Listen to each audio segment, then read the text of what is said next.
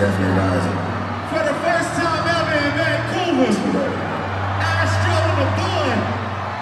We in this bitch. T-Time. T-Top. T-Time, I got a this shit. T-Top, I come for that. Cold